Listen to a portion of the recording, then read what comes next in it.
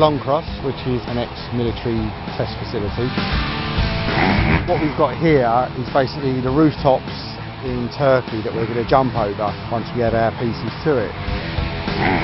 It was actually easy for us to build it all out of dirt because we can tweak it and move it about, make it longer, make it bigger, very easy rather than having set pieces made. And I can video it, show it to Sam, so he knows what roughly he's getting. And then again, we're, we're go out there and then we rehearse the whole thing. It's ideal practice for us. The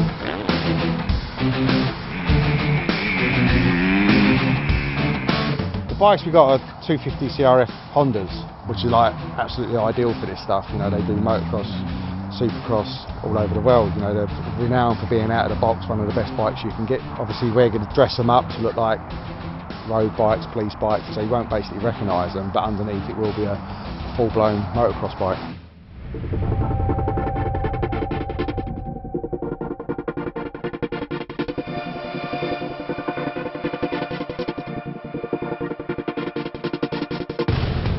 Today we're in Istanbul. This is like a quarter of the way through the beginning of the opening sequence and we're now getting onto the bike section of the chase. They've come here, there's been a big crash, there's been a shootout.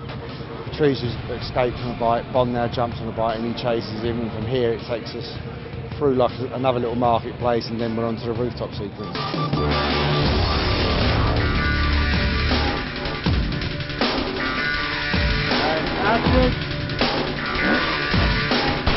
I think every Bond is unique. They all have their own stunts. They all have their own story. I think to do a chase up on the bazaar roof, I think it's something unique. But you have very narrow uh, little um, walkways that is a challenge for the riders.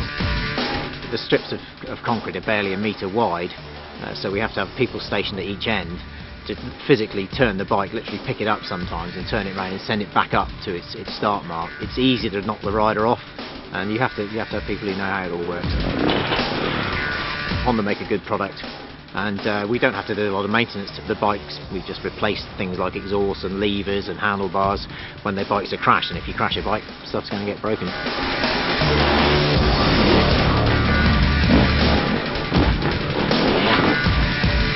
Uh, I'm a Aussie freestyle motocross rider. I a few world records for longest jump on motorcycles, kind of following Evel Knievel's footsteps and done some different things on motorbikes. I'm looking for someone to double Bond and I got the call up. Going to the roof was probably the scariest thing for me. It was just really tight lines. You know, obviously with no helmets on doing these stunts, you run the risk, but I saw some of the shots just kind of looking over the guys' shoulders when they were reviewing what they got and some of it looks really impressive, so I'm, I'm excited to see how it's going to come when they cut it up in the studio.